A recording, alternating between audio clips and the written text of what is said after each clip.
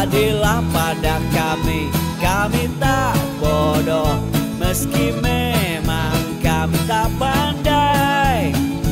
Tapi kami berjanji Akan tetap mengkritik Sesuai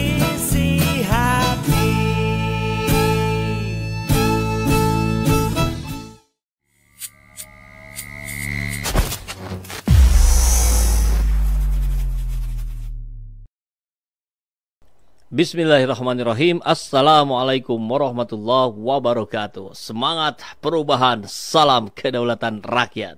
Sahabat EC Channel semua Ini mengejutkan Mengagetkan Miris Dan tentu Saya berucap Astagfirullahaladzim Tapi di sisi lain Saya kira kita juga menemukan hikmah jadi kalau mendapatkan hikmah ucapannya hamdalah ya alhamdulillahirabbil alamin. Apa? Ini baru indikasi tapi sudah cukup kuat karena disampaikan oleh Wakil Ketua Dewan Pembina PSI, Partai Seputaran Ibu Kota. Eh salah. Partai Solidaritas Indonesia ya PSI. Ya, Grace Natali yang sudah sering mengambil perannya ketum yang pertama mendeklarasikan Ganjar sebagai capres kemudian sekarang menarik Sebelumnya lagi, Gering mencalonkan diri sebagai presiden, kemudian menarik, membatalkan. Anak muda, partai anak muda kok inkonsistensi. Atau bisa dibalik juga nih ya, PSI itu adalah partai yang konsisten dengan ketidakkonsistenannya. Kan kalau sering tidak konsisten maka dia jadi konsisten dengan ketidakkonsistenannya. Aduh, ayah ayah wae. Dan ini kita lihat ucapan ini kurang lebih eh, muncul dari Grace Natali. Ya. Nanti kita lihat videonya langsung. Jadi kurang lebih dia menyatakan Prabowo itu menyesal pernah dekat dengan kelompok Islam. Wow, benarkah demikian? Kelompok Islam yang mana yang dimaksud? Ngeri kali yang lain sedang berebut suara umat Islam ini malah membocorkan statement dari Prabowo yang meskipun itu katanya implisit gitu ya. tapi eksplisitnya ada. Kan gimana dalam satu kalimat aja udah membingungkan ya. Kalau benar ya saya kira alhamdulillah lah. Makin jelas positioning dari Gerindra. Jadi ada tiga partai yang harus kita tenggelamkan. Apa aja PDIP, PSI, Gerindra satu lagi. Kalau benar ucapannya Prabowo menyesal pernah dekat dengan kelompok-kelompok Islam yang dimaksud mungkin lebih ke uh, Habib Rizik Sihab ya IBHRS Imam Besar Habib Rizik Sihab. Tapi di situ kita tahu bagaimana seluruh hampir nyaris seluruh umat Islam mendukung peran-peran yang dimainkan, peran-peran yang diper, yang apa ditunjukkan oleh IBHRS. Oke. Tanpa berlama-lama lagi, kita masuk ke videonya ya. Nah, Prabowo menyesal pernah dekat dengan kelompok Islam. Oh, kalau begitu dia mendeklarasikan musuh Islam dong. Benar nggak ya? Oke, kita simak videonya ya. Tapi kan kalau kita lihat Pak Prabowo juga dulu dekat dengan kelompok-kelompok intoleran tuduhan. Mm -mm. Di mana PSI dianggap menerima orang yang dekat dengan mm -mm. orang yang berseberangan dengan ideologi PSI. Ya, itu memang kita kita kritisi, tapi beliau dalam sebuah percakapan santai gitu ya. Tersiratnya saya lupa kata-kata persisnya, ya. tapi tersiratnya dan ada ada terus ter eksplisitnya juga cuman word by wordnya saya lupa. Kurang lebih beliau uh, menyiratkan penyesalan lah. Hmm. pernah mengambil langkah itu. Ya penyesalan lah dia sudah mengambil langkah itu ya.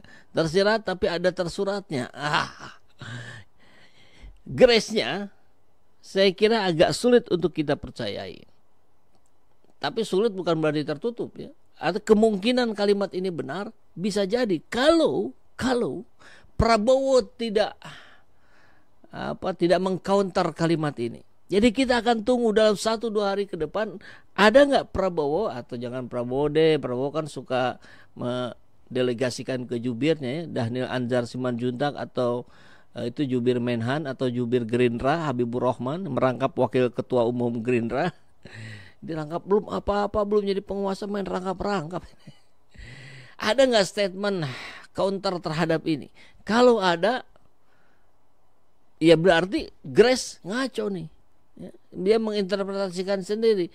Tapi kalau tidak ada bantahan berarti benar.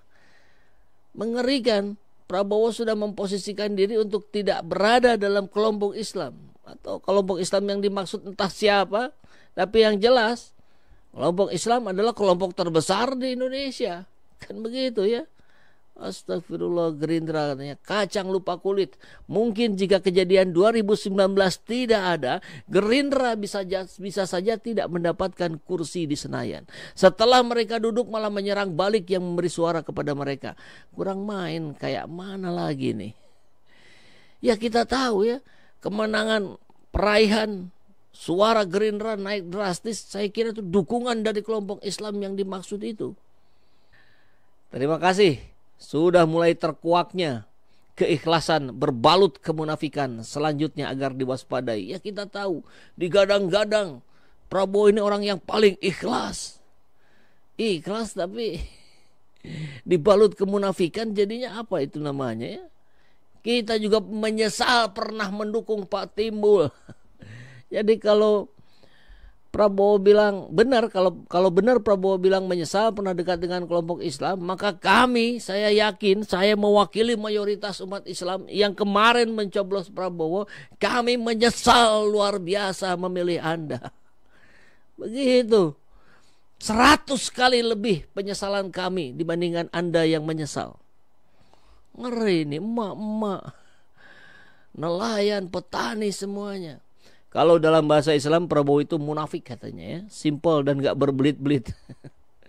Satu kata tenggelamkan ayah. Ini karena memang framingnya Prabowo ini sedang di frame dalam kontestasi Pilpres 2024 ini sebagai ayah.